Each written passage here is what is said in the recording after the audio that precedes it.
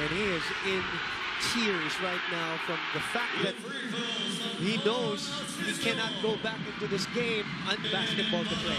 As you look at the brothers there. You have to play on. You have to keep fighting. Yeah. Kung ang mantra ng Ateneo is next man up, for La Salle, it's about never giving up. Because right now, that's the only thing that they